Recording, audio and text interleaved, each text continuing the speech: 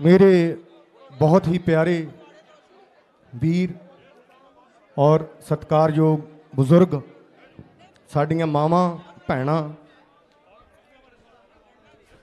ਸਭ ਤੋਂ ਪਹਿਲਾਂ ਕਰੋ ਰੋਸਨਾ ਪਵਿੱਤਰ ਵਾਹਿਗੁਰੂ ਜੀ ਕਾ ਖਾਲਸਾ ਵਾਹਿਗੁਰੂ ਜੀ ਕੀ ਫਤਿਹ ਔਰ ਤੁਹਾਨੂੰ ਸਾਰਿਆਂ ਨੂੰ ਬਹੁਤ-ਬਹੁਤ ਵਧਾਈਆਂ ਇਸ ਮੁਬਾਰਕ ਦਿਨ ਦੀਆਂ ਕਿਉਂਕਿ ਅੱਜ 1 ਸਾਲ ਵੀ ਹੋ ਗਿਆ ਤੇ ਉਧਰ ਵੀ ਭੀਂ ਬੋਲ ਗਈ ਹਾਂਜੀ ਤੇ ਕਾਨੂੰਨ ਵੀ ਰੱਦ ਹੋ ਗਏ। ਮੈਂ ਜਦੋਂ ਵੀ ਇੱਥੇ ਆਇਆ, ਮੈਂ ਹਮੇਸ਼ਾ ਇਹੀ ਬੋਲਦਾ ਸੀ ਕਿ ਕਈ ਵਾਰੀ ਦੇਖਣ ਨੂੰ ਇਹ ਲੱਗਦਾ ਹੁੰਦਾ, ਕਿਉਂਕਿ ਇਹ ਜਿਹੜੇ ਪੋਲੀਟੀਕਲ ਬੰਦੇ ਹੁੰਦੇ ਆ, ਇਹ ਦਿਖਣ ਨਹੀਂ ਦਿੰਦੇ ਸ਼ੋਅ ਆਫ ਨਹੀਂ ਹੋਣ ਦਿੰਦੇ ਕਿ ਸਾਡੇ ਤੇ ਕੋਈ ਫ਼ਰਕ ਪੈ ਰਿਹਾ। ਸੋ ਸਾਡੇ ਪ੍ਰਧਾਨ ਮੰਤਰੀ ਸਾਹਿਬ ਨੇ ਵੀ ਐਂ ਕੀਤਾ। ਲੱਗਦਾ ਐ ਸੀ ਵੀ ਕੋਈ ਅਸਰ ਹੀ ਨਹੀਂ ਹੋਇਆ। ਪਰ ਜਦੋਂ ਕੰਮ ਹੋਣ ਤੇ ਆਇਆ, ਜਦ ਹੀ ਭਾਈ ਔਰ ਬਹਿਨੋਂ ਇੱਕ ਮਿੰਟ 'ਚ ਹੋ ਗਿਆ। ਹਾਂਜੀ ਤੇ ਕਿਉਂਕਿ ਤੁਹਾਡਾ ਮੈਸੇਜ ਬਹੁਤ ਵੱਡਾ ਗਿਆ। ਮੈਂ ਹਮੇਸ਼ਾ ਹੀ ਇਹ ਗੱਲ ਕਰਦਾ ਹੁੰਨਾ, ਤੁਹਾਡੇ ਸਿਰੜ ਨੂੰ ਸਲਾਮ ਆ ਔਰ ਤੁਹਾਡਾ ਜੋ ਇਹਨਾਂ ਨੇ ਸਬਰ ਪਰਖਿਆ ਔਰ ਸਾਡੀਆਂ ਮਾਵਾਂ ਬੈਠੀਆਂ, ਕਿਉਂਕਿ ਕਹਿ ਦੇਣਾ ਸੌਖਾ, ਕਈ ਸਾਡੀਆਂ ਮਾਵਾਂ, ਸਾਡੇ ਬਜ਼ੁਰਗ, ਸਾਡੇ ਵੀਰ, ਜਿਨ੍ਹਾਂ ਨੂੰ ਪੂਰਾ ਸਾਲ-ਸਾਲ ਹੋ ਗਿਆ, ਹਾਲੇ ਤੱਕ ਘਰ ਦਾ ਮੂੰਹ ਨਹੀਂ ਦੇਖਿਆ। ਸੋ ਬਹੁਤ ਵੱਡੀਆਂ ਗੱਲਾਂ ਨੇ, ਇੱਥੇ ਆ ਕੇ ਹਾਲਾਤ ਦੇਖੇ ਆ।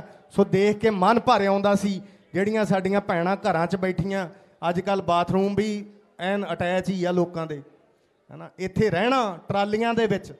ਸੋ ਮੈਂ ਸਾਡੀਆਂ ਮਾਵਾਂ ਨੂੰ ਸਭ ਤੋਂ ਪਹਿਲਾਂ ਸਿਰ ਝੁਕਾਉਣਾ। ਔਰ ਉਹ ਸਤਿ ਸ੍ਰੀ ਅਕਾਲ। ਜੋ ਚੀਜ਼ਾਂ ਅਸੀਂ ਪੜ੍ਹਦੇ ਸੀ ਇਤਿਹਾਸ ਦੇ ਵਿੱਚ ਕਿ ਐਦਾਂ ਸਾਡੀਆਂ ਮਾਵਾਂ ਨੇ ਕੁਰਬਾਨੀਆਂ ਦਿੱਤੀਆਂ, ਸਾਡੇ ਬਜ਼ੁਰਗਾਂ ਨੇ ਕੁਰਬਾਨੀਆਂ ਦਿੱਤੀਆਂ, ਉਹ ਇਤਿਹਾਸ ਸਾਡੀਆਂ ਮਾਵਾਂ ਨੇ ਮਾਈ ਭੋ ਭਾਗੋ ਹੋਣਾ ਦੇ ਉਹ ਦੁਹਰਾਏ ਆ। ਕਿਉਂਕਿ ਇਹ ਔਰ ਸਾਡੇ ਬਜ਼ੁਰਗਾਂ ਨੇ ਜਾਨ ਦੀ ਪਰਵਾਹ ਨਹੀਂ ਕੀਤੀ ਔਰ ਤੁਹਾਡਾ ਮੈਸੇਜ ਐਡਾ ਵੱਡਾ ਗਿਆ ਅੱਗੇ ਕਿ ਆਰ-ਪਾਰ ਦੀ ਲੜਾਈ ਲੜਨ ਲਈ ਆ ਗਏ। ਇਹਨਾਂ ਨੇ ਨਹੀਂ ਪਰਵਾਹ ਮੰਨਣੀ, ਇਹ ਵਾਪਸ ਲੈਣੇ ਹੀ ਪੈਣੇ ਆ। ਇਹਦਾ ਕੋਈ ਹੋਰ ਹੱਲ ਹੀ ਨਹੀਂ। ਸੋ ਅੱਜ ਜਦੋਂ ਆ ਰਹੇ ਸੀ, ਉਹੀ ਜਦੋਂ ਪਹਿਲਾਂ ਆਪਾਂ ਆਏ ਆ ਉਦੋਂ ਕੱਲ ਤੋਂ ਫੇਰ ਜਦੋਂ ਦੇ ਅਸੀਂ ਤੁਰੇ ਆ ਕੱਲ ਅਸੀਂ ਟਿੱਕਰੀ ਬਾਰਡਰ ਸੀਗੇ। ਸੋ ਉਹੀ ਟਰਾਲੀਆਂ ਦੀ ਪੂਰੀ ਅੱਜ ਉਵੇਂ ਹੀ ਲਾਈਨ ਲੱਗੀ ਆਉਂਦੀ ਸੀ, ਉਹੀ ਟਾਈਮ ਪੁਰਾਣਾ ਯਾਦ ਆਉਂਦਾ ਸੀ ਕਿਉਂਕਿ ਬੜੇ ਰੰਗ ਦੇਖੇ ਆ ਇਸ ਮੋਰਚੇ ਨੇ।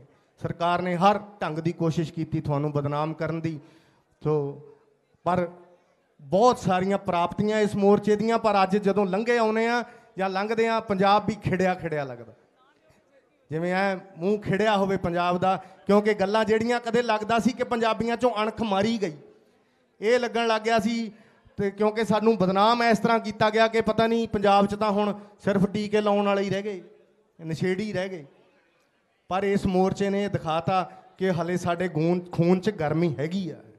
ਔਰ ਜੇ ਤੁਹਾਨੂੰ ਲੋਕਾਂ ਨੇ ਚੁਣ ਲਿਆ, ਤਾਂ ਇਹਦਾ ਮਤਲਬ ਇਹ ਨਹੀਂ ਕਿ ਤੁਸੀਂ ਡਿਕਟੇਟਰ ਬਣ ਗਏ। ਉੱਥੇ ਬੈਠ ਕੇ ਜਿਹੜੇ ਫੈਸਲੇ ਸੁਣਾਈ ਜਾਓਗੇ, ਲੋਕ ਮੰਨੀ ਜਾਣਗੇ। ਸੋ ਗਾਹਾਂ ਨੂੰ, ਹਰ ਬੰਦੇ ਨੂੰ ਕੰਨ ਹੋਗੇ ਕਿ ਜੇ ਕੋਈ ਗਲਤ ਫੈਸਲੇ ਆਉਣਗੇ, ਤਾਂ ਲੋਕ ਅੱਗੋਂ ਉੱਠਣਗੇ।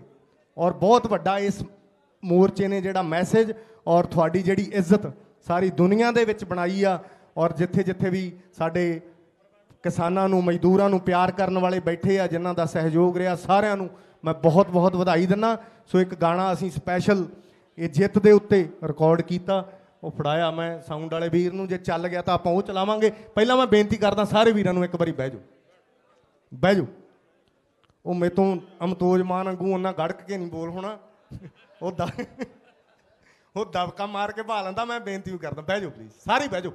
ਸਾਰੇ ਬਹਿ ਜਾਓ। ਭਾਈ ਸਾਹਿਬ आपके चरणों में भी हम क्या की कहने ਹੁੰਦੇ ਆ ਨਿਮਰਤਾ ਸਹਿਤ ਨੂੰ ਨਿਮਰਤਾ ਸਹਿਤ ਨਿਮਰਤਾ ਸਾਹਿਤ ਬੇਨਤੀ ਕਰਤੇ हैं ਹਿੰਦੀ ਮੈਨੂੰ ਇੰਨੀ ਕੀ ਆਉਂਦੀ ਆ ਬਹਿ ਜਾਓ ਪਿਆਰ ਨਾਲ ਪਲੀਜ਼ ਪਲੀਜ਼ ਮੈਂ ਸਾਰਿਆਂ ਨੂੰ ਹੱਥ ਜੋੜ ਕੇ ਬੇਨਤੀ ਕਰਦਾ ਸਾਰੇ ਬੜੇ ਪਿਆਰੇ ਵੀਰ ਨੇ ਔਰ ਲੱਖੇ ਬਾਈ ਹੁਣੇ ਬੈਠੇ ਆ ਸਾਰਿਆਂ ਦਾ ਸਹਿਯੋਗ ਇਸ ਮੋਰਚੇ ਦੇ ਵਿੱਚ ਲਿਖਿਆ ਜਾਣਾ ਮੈਂ ਸਮਝਦਾ ਤੁਸੀਂ ਸਾਰੇ ਹੀ ਅਸੀਂ ਵੀ ਭਾਗਾਂ ਵਾਲੇ ਆ ਕਿ ਅਸੀਂ ਇਹ ਮੋਰਚਾ ਆਪਣੀਆਂ ਅੱਖਾਂ ਦੇ ਨਾਲ ਦੇਖਿਆ ਇਹ ਆਉਣ ਵਾਲੇ ਟਾਈਮ 'ਚ ਲੋਕਾਂ ਨੇ ਕਹਾਣੀਆਂ ਸੁਣਾਇਆ ਕਰਨੀਆਂ ਵੀ ਇਹੋ ਜਿਵੇਂ ਸਾਨੂੰ ਸਾਡੇ ਬਜ਼ੁਰਗ ਸੁਣਾਉਂਦੇ ਆ ਪੁਰਾਣੇ ਮੋਰਚਿਆਂ ਦੀਆਂ। ਪਰ ਸਾਨੂੰ ਉਦੋਂ ਮਾਣ ਹੋਇਆ ਕਰੂ, ਅਸੀਂ ਵੀ ਸੁਣਾਇਆ ਕਰਾਂਗੇ ਜਵਾਕਾਂ ਨੂੰ ਵੀ ਅਸੀਂ ਉਦੋਂ ਦੇਖਿਆ, ਅਸੀਂ ਗਏ ਆ, ਐ ਐ ਹੋਇਆ ਸੀ। ਸੋ ਇਹ ਰੋਜ਼-ਰੋਜ਼ ਨਹੀਂ ਇਤਿਹਾਸ ਲਿਖੇ ਜਾਣੇ। ਹਾਂਜੀ?